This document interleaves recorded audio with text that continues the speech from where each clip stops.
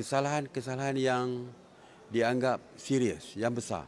Seperti tadilah, kelab malam diharamkan, tapi mereka masih lagi mengunjungi kelab malam. Yang ini mungkin akan dikenakan maksimum RM10,000. Ya. Pihak uh, IGP dah kata kalau setakat tak pakai pelitup muka, tak mungkin akan dikenakan RM10,000.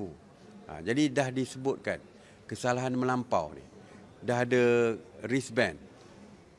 Ya, dah ada wristband, ada gelang, tapi masih keluar merayau pergi pasar malam dan sebagainya.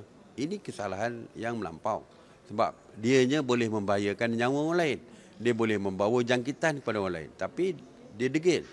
Ha, dia pergi juga keluar walaupun arahan tidak boleh keluar daripada rumah. Yang ini mungkin akan dikenakan tindakan yang lebih besar. Ada dari segi hukuman, dari segi kompaun dan sebagainya.